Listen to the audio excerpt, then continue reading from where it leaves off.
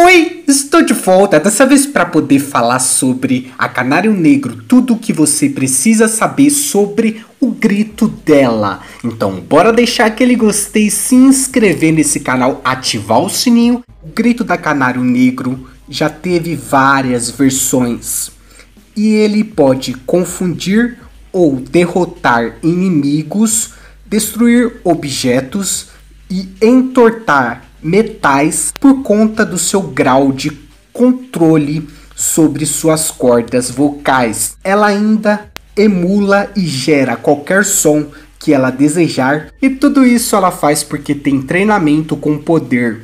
A Canário Negro tem um grito tão apelão que parte ossos de quem ficar no meio. Então, basicamente, esse grito eu acredito que pararia aquele poder das joias do infinito, se você for pensar por esse lado. Mas continuando aqui, na HQ Ponto de Ignição, a Canário Negro chega a utilizar o seu grito para voar, só para vocês terem uma noção de como que é poderoso esse grito. E fora que ela consegue deixar um inimigo ou um exército inteiro surdo, porque ela consegue gritar até 300 decibéis.